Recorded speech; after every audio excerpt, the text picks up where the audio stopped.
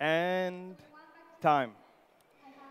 Coffee wasn't made for growing in Africa. Africa was made for growing coffee. Did you get that? Let me repeat it one more time. Coffee wasn't made for growing in Africa, rather, Africa was made for growing coffee. Now, the African continent often is associated with, with negative things, such as corruption, such as poverty, such as war. But I believe that this is slowly changing, and coffee is at the forefront of this new narrative. We could even call coffee the protagonist in this new African story.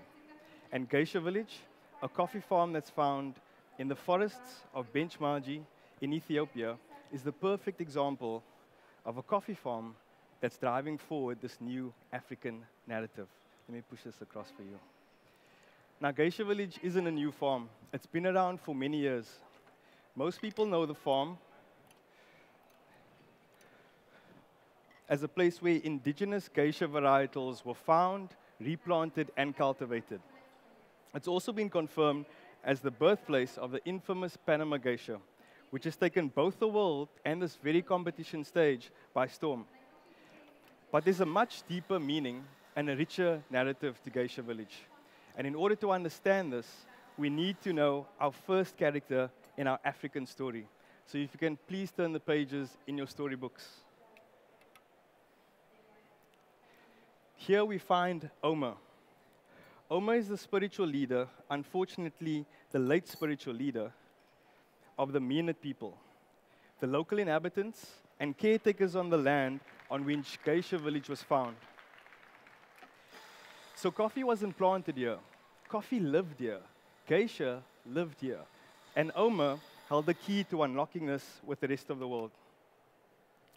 Now, before Omer officially handed the land over to Adam and Rachel, the owners of Geisha village, he made a bold request.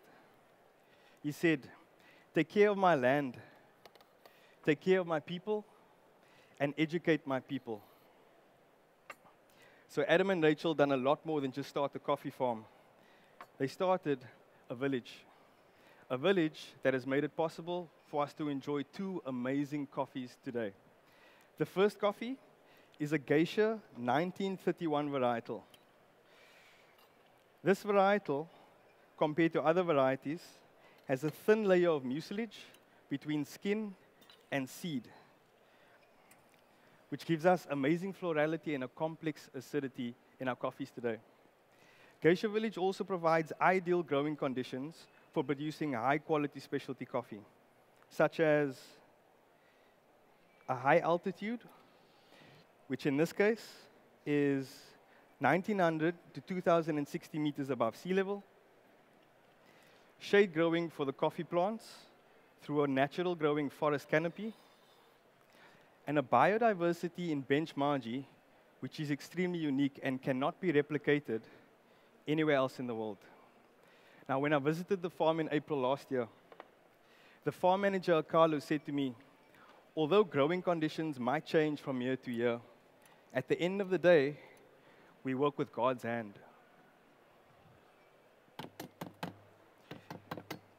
So this 1951 varietal and the processing is what I believe makes this coffee extremely special. The process Adam refers to as natural cold aerobic. The coffee cherries are placed in a concrete tank and fermented for 60 hours at 15 degrees Celsius. Now, this is a low temperature for coffee fermentation. But because of that thin layer of mucilage, we find a really refined acidity, amazing florals, and a delicate acidity. What I love most about this coffee is that we don't taste an isolated part of the seed to cup process, such as fermentation or experimentation. Rather, we get a clear image of the varietal, the growing conditions, the process, and the human craftsmanship from Adam and the Kalu. So if you could please write down your flavor notes for your espresso. Up front, you'll experience amazing orange blossom aroma. And this reminds me of my first experience on the farm, where as I got out of the Land Rover, I was met with this hypnotizing aroma of flowering coffee trees. Next, you'll experience a low to medium weight, a texture that is both silky and smooth,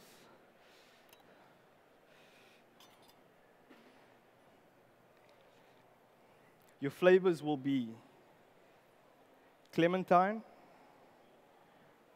raspberry, excuse me, cranberry, mango, and the finish will be long and pleasantly dry, like grapefruit.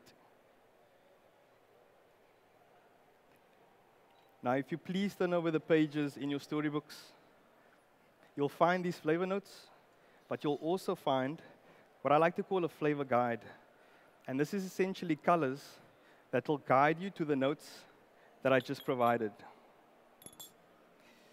Now, we have a slightly different drinking protocol today. Feel free to assess your crema, but I'm also using, using an infrared thermometer that's going to read the temperature of our espresso today. What I'd like you to do is to please stir until you get a stable temperature of 50 degrees Celsius. Now, the numbers might jump up and down just a little, but don't stress, it's all part of the process. Just keep on stirring until you hit a stable 50 degrees, and then you're more than welcome to enjoy. I've used 20 grams of coffee to extract 45 mils of espresso. I'd like you to please take three sips to enjoy the full experience of this true African geisha. Enjoy.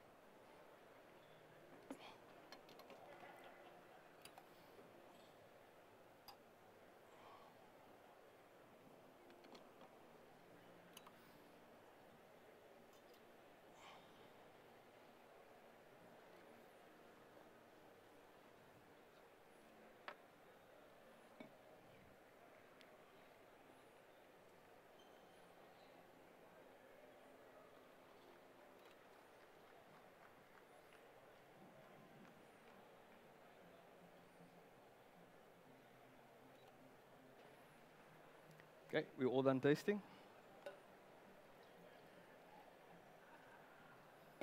Okay, friends, if you can please turn over to the next pages in our storybook. Here we find Adam and Rachel Overton, the founders and owners of Geisha Village, and the second pivotal set of characters in setting out our new African narrative. Now, Adam and Rachel have done an amazing job at working with an existing ecosystem in Bench Maji and driving it forward to what I believe is a coffee haven. One of the things I love most about this farm is that they don't only grow geisha. The second coffee that I'm using for your course is called Illubabor Forest 1974. And it's an heirloom, disease resistant Ethiopian varietal. Let's turn over to the next pages for flavor notes and some formalities. You can turn over to the next page. Thank you very much. So for your milk course, you can write down we'll experience raisin, melted ice cream, and milk chocolate. And this reminds me of rum and raisin ice cream. So the Illubabor 1974 varietal, unlike the 1931 geisha, has a thick layer, enjoy, of mucilage between skin and seed. Adam refers to this process of this coffee as natural semi-anaerobic. Here, the whole cherries are placed in a, stain, in a plastic bag, excuse me. It's sealed and covered with a plastic top and then fermented for 110 hours.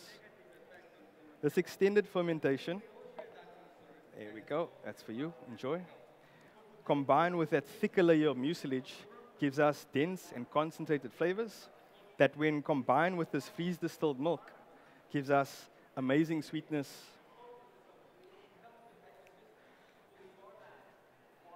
And what I believe is the best milk tasting beverage I've ever tasted. Just a reminder of those flavor notes you'll experience raisin, vanilla ice cream. That's for you. Milk chocolate. And this reminds me and raisin ice cream.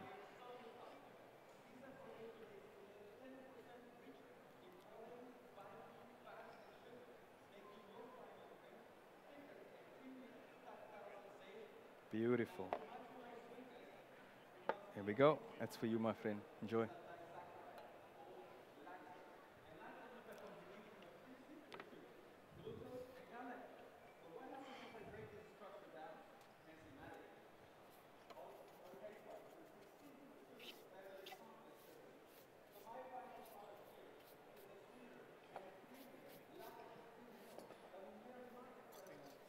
Thank you.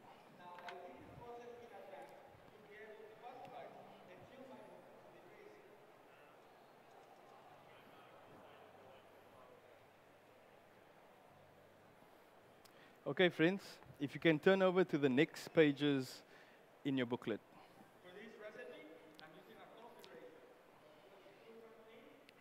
Here we find our third character, and as you can see, that is actually me. When I visited Geisha Village, unfortunately, two weeks before my visit, our beloved Oma had passed away. Adam took the farm visit as a chance to attend his memorial, and I was fortunate to join him. When we arrived at Oma's compound, we were announced to the tribe by gunfire.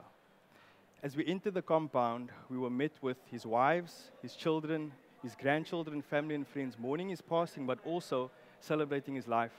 And today, for me to experience that and get to serve you this coffee makes this moment so much more special. So, for my signature beverage, we have two espressos that have been cooling down one of the 1931 and one of the Illubabor. To this, I'm starting off by adding 20 mils of clarified milk. When we add citric acid to milk, it splits into curds and whey. I'm using the whey or the clarified milk to provide texture in our signature bev today. Next, I have 42 mils of a Citra hops solution. One part of Citra hops to 100 parts of water. This is going to give us amazing vibrancy and a passion fruit note in our sig bev. I then have six moles of a tartaric acid, one part tartaric acid to two parts, to 60 parts, excuse me, of water. This is giving us an Earl Grey or Lady Grey note in our espresso, in our sig bev. Lastly, I have 25 mils of honey. This is adding sweetness and balance, but this isn't just any honey. This honey is from Geisha Village. The very bees that pollinate the coffee flowers to make this coffee possible to drink also produced this honey. I'm going to be blending this up just to give us some texture and to homogenize. So if you could please turn over the page to our final page, I'll give you our flavor notes. You'll experience, first up, a coffee flower aroma. You'll experience a note of passion fruit, Lady Grey tea, and the finish will be long and pleasantly dry like a white wine. Your drinking instructions are to please swirl 10 times. Take in the aroma and enjoy. But before you enjoy, please allow me to conclude. As Africans, we don't often get the opportunity to control our own narrative. And today, from Omar's hands to Adam and Rachel, from mine to yours, it's a pleasure for me to do that and to serve you this coffee. Thank you. Time.